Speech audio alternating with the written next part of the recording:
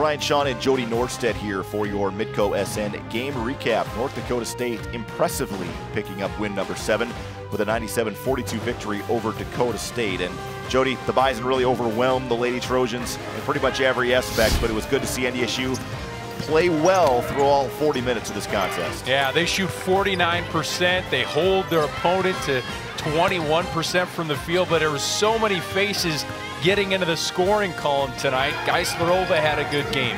You saw Taylor Thunstead knock down threes, which is what she does best. NDSU really riding high as they get ready for the conference season. The Lady T's 27 turnovers and the Bison 10 of 23 from three-point range in the contest. Upcoming live action here on Midco SN. The University of Jamestown takes on North Dakota State Saturday at 2 p.m. on Midco SN. We hope you join us then.